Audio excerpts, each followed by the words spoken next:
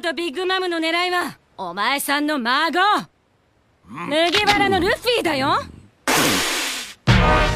ウケる。笑い事じゃないよまったく。このまま四皇二人を接触させちまっていいのかい？いいのかいちゅうてお前。今レベリーじゃぞそれを止められる戦力は皆王族の護兵じゃ。でもこのままじゃ杯の社長はなんて？和の国は非加盟国につき管轄外であるってさ。じゃろうな。今は触らん方が吉じゃ。でもガープ君ビッグマムとカイドウが動くとなれば放っておくわけにはいかないでしょう。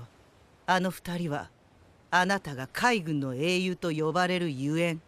うん。ロックスかん？いいな。お前若いのによう知っとるの。ロジャーの前は間違いなく奴らの時代じゃった。しかしもう40年も前の話。過去は過去じゃ。船長を失っても奴らの力は増してるわ。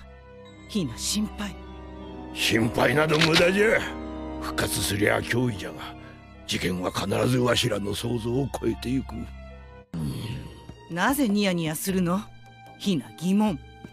マリンフォード頂上戦争の時もそうじゃったろえう。ん、うん、あん時もわしらの想像を超える事件が次々に起きていきよった。散々引っかき回してくれたなあんたのお孫さんじゃないですか。